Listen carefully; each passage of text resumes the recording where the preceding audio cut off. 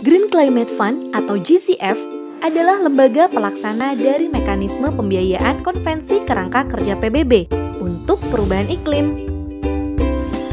GCF mendukung upaya negara-negara berkembang seperti Indonesia dalam menurunkan emisi gas rumah kaca dan meningkatkan ketangguhan negaranya terhadap perubahan iklim. Untuk ini, GCF menawarkan pendanaan berupa pinjaman lunak, hibah, penanaman modal atau equity, dan jaminan. Pemerintah Indonesia berkomitmen untuk menurunkan emisi gas rumah kaca pada tahun 2030 sebesar 29% dengan upaya sendiri dan sebesar 41% dengan bantuan internasional.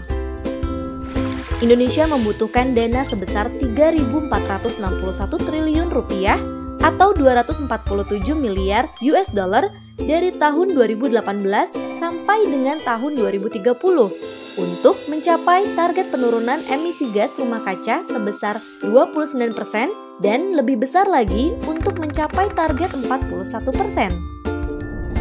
Kebutuhan dana tersebut tidak dapat ditanggung sepenuhnya oleh APBN.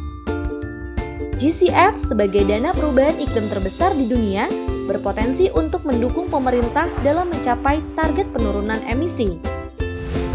Sesuai dengan prinsip country ownership, GCF hanya menyetujui proposal pendanaan yang sesuai dengan prioritas negara penerima.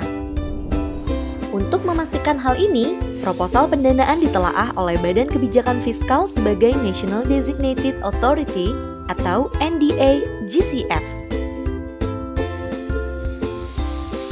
Country Program merupakan dokumen penting sebagai panduan NDA untuk menyelaraskan proposal dan prioritas nasional.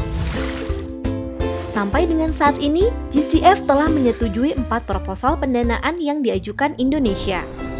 Program Fasilitas Pendanaan Bank Dunia untuk pengembangan energi panas bumi melalui mitigasi risiko pada tahap eksplorasi.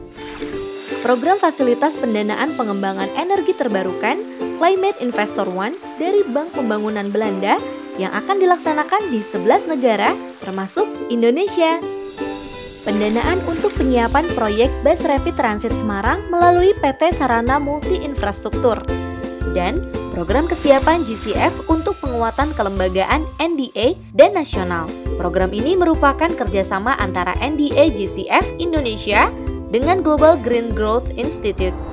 Dengan dukungan GCF, Indonesia diharapkan dapat melakukan akselerasi menuju pembangunan yang hijau, inklusif, dan berkelanjutan.